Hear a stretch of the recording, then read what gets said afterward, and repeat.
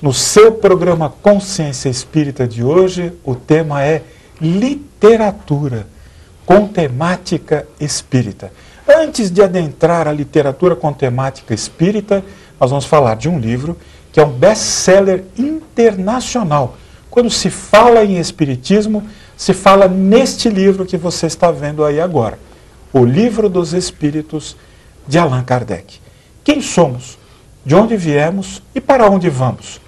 O Livro dos Espíritos de Allan Kardec responde a todas essas questões e derruba definitivamente o sobrenatural, o maravilhoso, o fantasioso. Não existem fantasmas. A vida não é uma só, não, senhor. Há muito que aprender com o Livro dos Espíritos de Allan Kardec. Agora, há muito que aprender com a nossa convidada especial do programa de hoje, Elisa Marcelli. Olá! Olá! Que alegria tê-la aqui no alegria programa. Alegria toda minha de estar aqui, participando desse programa. E estou à disposição. Elisa, nem é que você está muito bonita. Ah, mas eu sou chique. Mas isso a gente já sabia.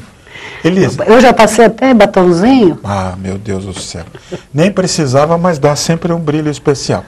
Elisa, é, a produção do programa selecionou algumas capas dos seus livros, Todos os seus livros trazem uma mensagem muito especial, mas livros belíssimos que saíram das suas mãos, do seu pensamento, da inspiração dos amigos espirituais.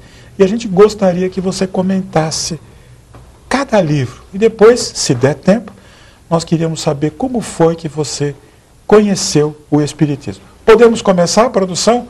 Olha essa capa. Deus. Estava com ele. Essa, esse livro, é, quando eu terminei de escrever, que eu, eu termino de escrever e vou relendo o livro. Aí que foi que eu percebi que ele fala muito de adoção, dos laços entre pais e filhos adotivos. É uma história lindíssima e o tema principal dele é esse. É adoção, pais e filhos, como é que é planejado na espiritualidade, as adoções. Ele é maravilhoso. Desculpa a modéstia, mas ele é maravilhoso. Não, o conteúdo é especial. Eu me lembro, Elisa, quando ele foi lançado, a capa me chamou bastante atenção. Foi mais ou menos, já faz algum tempo. Ah, já, acho que faz uns oito, uns dez anos. Uns dez anos. Muito bem. Para o próximo livro, por favor, olha aí, A Beira da Loucura. Esse também é um livro que, embora esse nome assim um pouco assustador, mas a história é muito boa e ela trata também da, do que o, o, como é que a, a, nossa relação com o plano espiritual, com os obsessores, como é que eles trabalham e como que os nossos amigos espirituais trabalham para combater os obsessores. Eles trabalham muito. É uma história linda e quem, te, quem quiser ler, por favor, vai ter muita vontade, vai querer, mas não vai para o último capítulo. Não vai querer descobrir. Ah, não pode pular. Não, tem que. Não pode descobrir quem é o bandido. Entendi. Entendi. Porque, porque ele é muito bom, ele tem muito suspense e ensinamentos né, maravilhosos. Sem dúvida. Elisa, é, A Beira da Loucura foi lançado.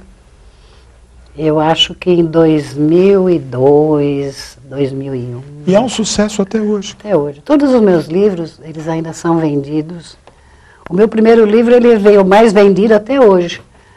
De, de também né, não tem para ninguém. o próximo. Deixa eu ver se ele aparece. Olha lá, Elisa.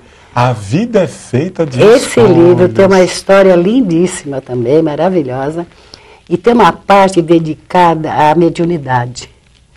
O plano espiritual explicando como é que funciona e a inconsciência, como é que, como que se passa. Tem inconsciência? Existe inconsciência? A pessoa fica inconsciente realmente? Então, esse, esse livro ele explica muito bem como é que o médio escreve, como é que o médio pinta, como é que o médio compõe uma música.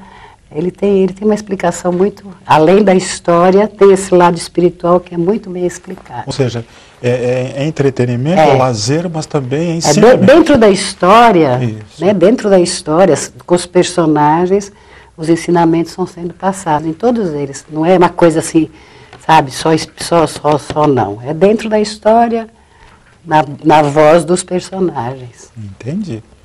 Vamos ao próximo livro. Esse livro ele começa ao contrário, ele começa de lá para cá. Do fim para o começo. É, a menina que está lá do lado do, do plano espiritual e ela é convidada para vir. Porque existem muitas equipes, né? Aqui, aqui tem um monte do nosso lado. Meu Deus do céu, Deus os abençoe. Não, está aqui. Em todo lugar eles estão. E, então ela foi convidada para vir com uma outra equipe para visitar a família dela. E aí eles passam por vários lugares, várias histórias, muito uma mais bonita que a outra, até que finalmente ela chega na casa dela, né? Mas ela já chega quase no final do livro, mas chega. Mas que viagem! É lindo. Eles vão em vários lugares, conhecem, eles vão reencontrando os que eles, os que vieram, que estão aqui, amigos deles, que eles, né? Porque uma parte vem, a outra fica, né? Eu sinto, Elisa, que cada livro deixou uma marca no seu coração. Estou certo? Todos eles têm assim. Eu aprendi muito com os meus livros. Eu aprendi muito, que eu escrevo e eu falo, nossa, mas sabe que é verdade? Nossa, eu nunca tinha pensado nisso. Nunca imaginei que fosse assim, entendeu? Na hora que eu termino de escrever, eu, eu mas é, é verdade. Então, é, eles... Graças a Deus você está escrevendo. Nosso próximo livro, Elisa Macelli, no programa Consciência e Espírito. O título? O passado não importa. O passado Eu não, não sei importa. se tem aí o quando o passado não passa. Será Nós vamos ver. Esse aí, ele é a continuação. Quando o passado não passa, foi o primeiro. Ele é vendido, já nem sei quantos Esse milhões. foi o primeiro, quando não, passa. antes desse. Ah, quando antes o passado desse, não passa. É. Ele foi, ele foi o mais vendido, ainda é hoje, nem sei quantos milhões já vendeu. Depois dele veio esse, O Passado Não Importa. Esse são os mesmos personagens de Quando o Passado Não Passa, só que uma época depois, né? uma, uma época diferente, mas são eles mesmos. Para mostrar que o que acontece, que o nosso espírito não para, ele continua. É, ele morre, nasce, morre, nasce, morre, nasce. Ou e... seja, a gente não tem motivo para se deprimir, para temer o futuro. Não, e nem para querer ser puro, puro, maravilhoso, porque ninguém é puro, maravilhoso. De uma vez só. A gente vai, a cada encarnação, vai se melhorando, vai... vai passo vai, a passo. Devagarzinho, e nós estamos no jardim da infância. Esse é o meu caso. meu também, meu também. Não, Elisa, você já está bem Não, tô não, tô não. Tô Elisa, não. olha, eu preciso dizer para o amigo que está em casa Olha, é uma satisfação receber no programa de hoje Elisa Macelli com esses livros belíssimos. Não há dúvida, meus amigos, que o dom de escrever, a sintonia com os benfeitores espirituais, é realmente uma missão. No livro dos Espíritos de Allan Kardec, os Espíritos de Luz nos dizem: cada um tem a sua missão. A missão da Elisa, fazer com que esses livros belíssimos cheguem às suas mãos. O programa Consciência Espírita agradece a sua participação para conhecer melhor o Espiritismo. Você já está aí, muita gente já está na internet. www.fesp.org.br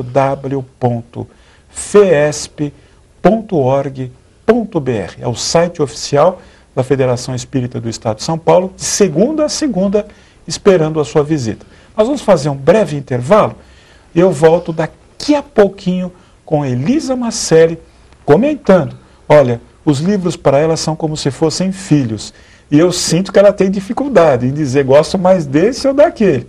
Ela gosta de todos como todos nós gostamos dela. Eu volto daqui a pouquinho com consciência espírita.